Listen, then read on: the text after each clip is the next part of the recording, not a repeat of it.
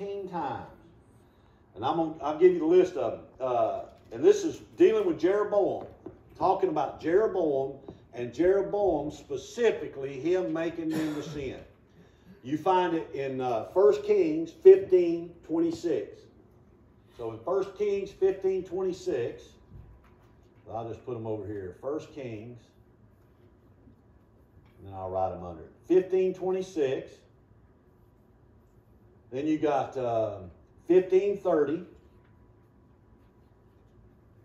You got 1619. 1626. Then 1631.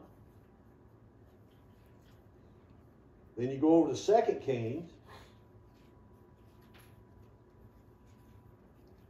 And you've got 13.6. You've got 13.11. You got thir- uh, 14.24. Then uh, 15.9. Then uh, 15.18.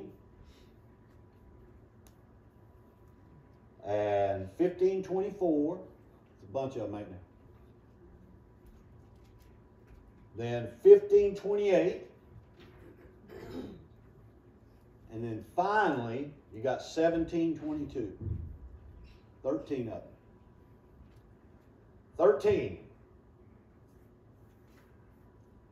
5. You want to notice numbers in the Bible because numbers play a part. God uses numbers. Uh, I'll tell you how God uses numbers. He tells that one uh, fella, he says, uh, take that arrow, and he says, smack the ground. And he smacks the ground three times, and that prophet looks at him and says, you dummy. He said, that's how many times you're going to de- defeat your enemy. Had you to struck it more, see, the more higher number, more numbers, struck it more, you'd be more. So all the way through, God uh, uses numbers to show you things because God God uses numbers. He does. Uh, just like uh, what is forty? Anybody know? Forty is used for judgment. Forty years in the wilderness they wandered. Right? all the time, whenever you see 40, majority of the time is going to be related to judgment. What's the number three? Trinity. Father, Son, and Holy Spirit. Anytime you see three. Three is a divisional number that God uses to make up things. You've got man, woman, child. That makes a family.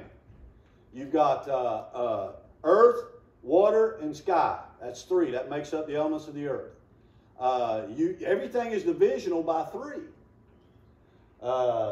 And of course, if you want division, then you got the number two. Number two is the number of division. Uh, so everything, number one, well, there ain't but one God, man.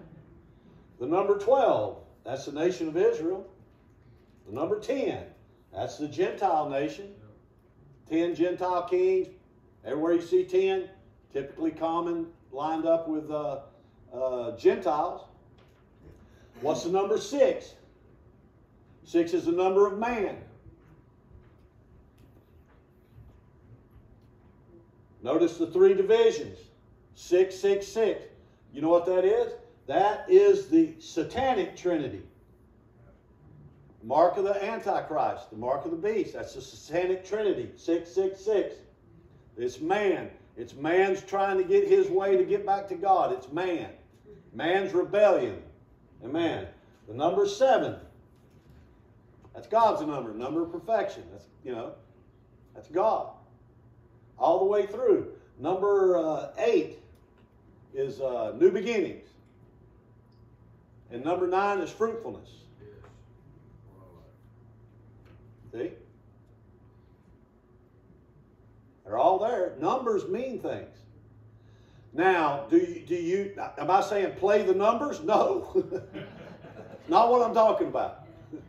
I'm not talking about playing the numbers or lottery or anything. I'm just saying Numbers in the Bible mean things. They have references to things. So it's not that you put a lot of necessarily, I don't want to say put necessarily don't pay attention to them, but don't base something on a number. But be aware that the number has a meaning. And that it's, you know, it's used there to help you so that you can see things. If you're looking at a verse and there's some numerical things in there, that may help you clue you to what it is while in your Bible study. So God uses those things, and He uses them to show us things. They're there to help us. All right, so anyway, so there's 13 times it mentions that Jeroboam talks making Israel to sin. Made Israel to sin. How did he make them to sin? By perverting them. If you go back over there where we first started, he was afraid of the people. Remember? He was afraid he was going to lose them once the kingdom split. He was afraid they were going to lose them and they were going to go back to uh, Jerusalem to worship, and he wouldn't be able to keep them. And so he made up this golden calf for them to worship. That's how he made them to sin. He perverted them spiritually. Spiritual perversion. Now,